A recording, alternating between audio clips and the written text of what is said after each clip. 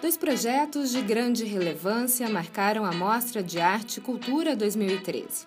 Aos alunos da educação infantil foi dada a tarefa de desenvolver um lindo trabalho, cantando e se encantando com Vinícius de Moraes.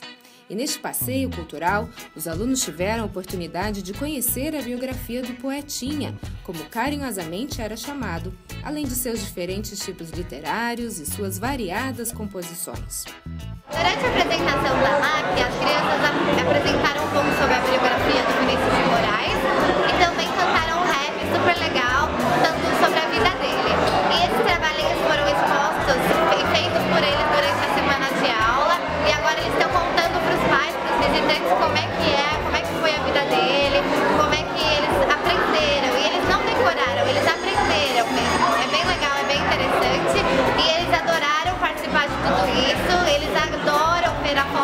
Vinícius de Moraes, apontar e falar, ah, eu conheço ele, essa música foi ele que escreveu. Então é bem interessante, é um projeto bem legal e é uma boa todo mundo vir conhecer. E na nossa mostra, na nossa sala do Infantil 2, nós mostramos os quadros da poesia coruja, as máscaras do gato, do pato do leão. E aproveitamos o dia da avó onde as vovós confeccionaram com eles pedaços da poesia. Então hoje nós também mostramos para as vovós o que foi feito daquele trabalho que elas fizeram no dia delas.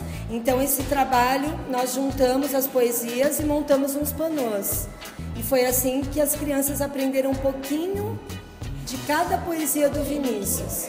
Já aos alunos do Ensino Fundamental 1 foi dada uma missão um pouco mais ousada, de semear a cultura da paz. Este trabalho teve como enfoque o estudo de valores morais, da preservação do planeta e de seus recursos naturais e das diferentes culturas que precisam conviver entre si com respeito, tolerância e igualdade. Hoje foi a apresentação da MAC, a Mostra de Arte e Cultura, onde nós trabalhamos é, um projeto que foi desenvolvido durante o ano todo sobre a cultura da paz, onde as crianças tiveram vários é, aspectos trabalhados, como diversidade, trabalhamos o ECA, o Instituto da Criança e do Adolescente, a diversidade que existe entre as pessoas e a importância da paz para o nosso mundo. A MAC contou com a presença e esforço de dezenas de professores que mostraram que para um aluno ter sua formação acadêmica plena, não basta só conhecimento teórico. Deve haver também um envolvimento com a arte, um envolvimento com a alma.